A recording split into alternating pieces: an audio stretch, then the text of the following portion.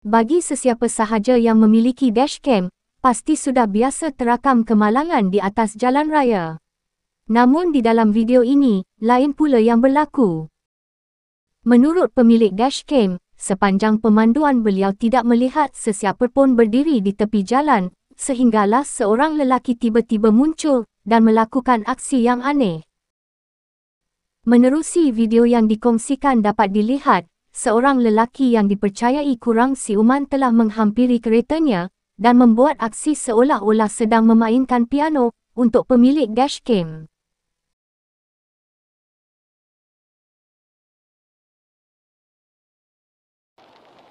Thank you.